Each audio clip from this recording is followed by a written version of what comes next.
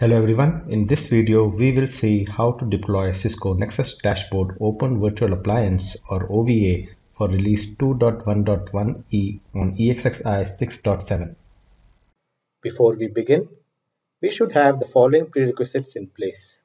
VMware vCenter Server 6.7 or above, VMware ESXi 6.5 or above host log into the vCenter imported server. into the vCenter. Click on host make sure your host has the host 16 VCPUs. The OVA template will be deployed. 64 GB right click the selected 500 gig of SSD storage. Deploy OVF template.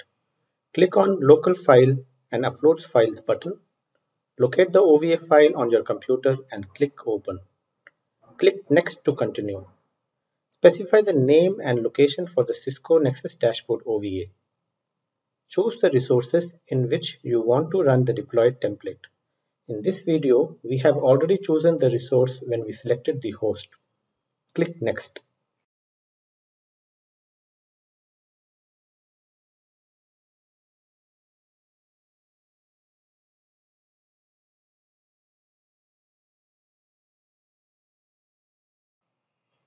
Review the details and click Next. Select the data store where you want to store the configuration files and click Next to continue.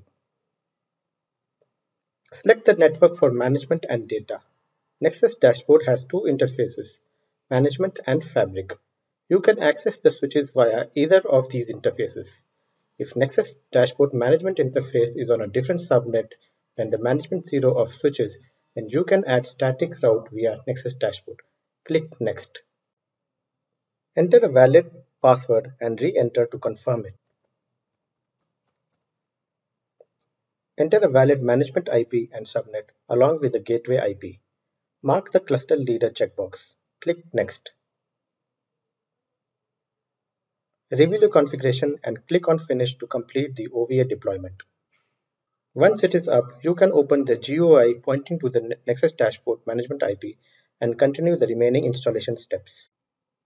Use the password that you gave while deploying the OVA and click on Begin Setup.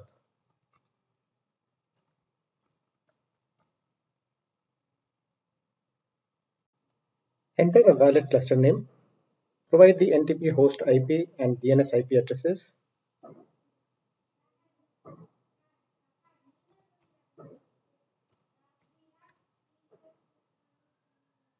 And click Next. Enter the node details. Here you can give the fabric interface details.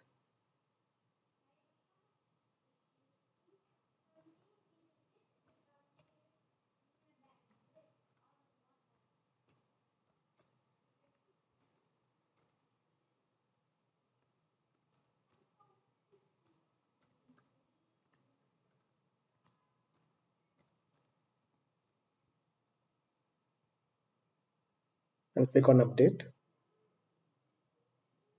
Click on next. This is a one node cluster, so you can click on confirm installation.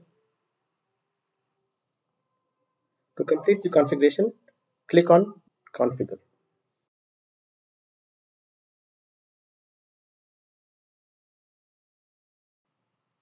Enter the username and password to log in into Nexus dashboard.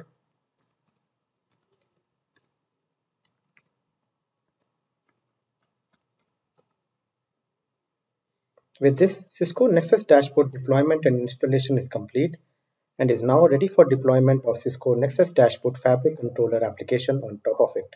Thank you.